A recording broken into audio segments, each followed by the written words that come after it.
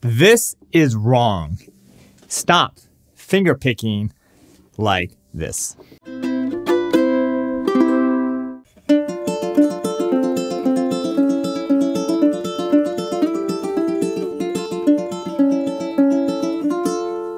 Hi, I'm Terry Carter, and welcome to Uke Like the Pros.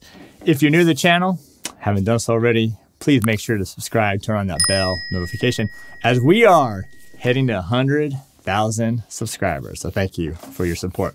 Also, you're on Instagram, find me over there.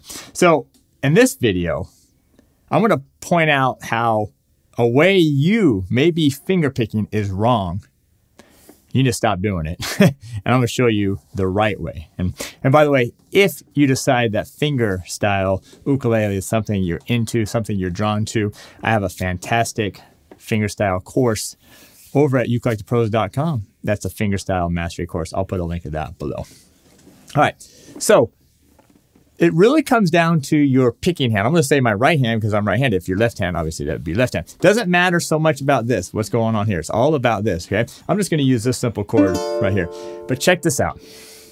If you're doing this, watch my hand here.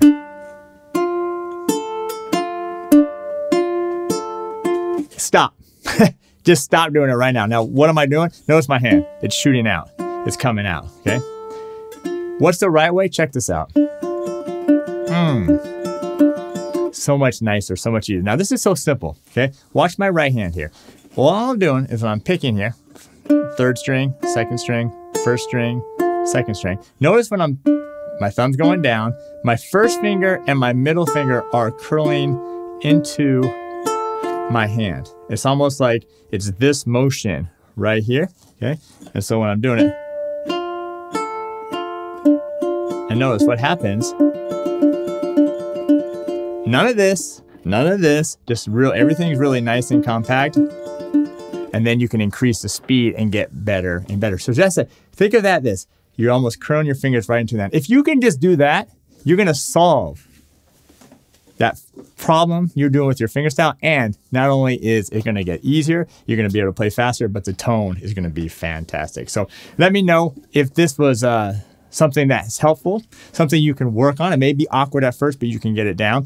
Also, uh, like I said, if you're in the fingerstyle, you got to check out Fingerstyle Mastery. That's my course over at ukelikethepros.com. So I appreciate you being here. Thanks for leaving a comment. Thanks for subscribing. We'll see you next time.